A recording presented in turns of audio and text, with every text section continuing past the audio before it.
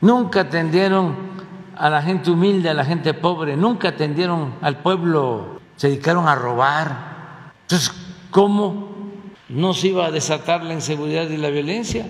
Hubiera sido raro que con toda esa política antipopular, entreguista, corrupta, que no hubiese violencia, además con autoridades corruptas, y todavía nos deben explicaciones. Calderón y todos ellos.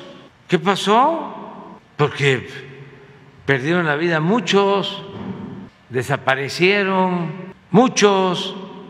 De repente, de manera cínica, se habla ahora de los desaparecidos y de la violencia en México, como si esto hubiese surgido de la nada. Morena, la esperanza de México.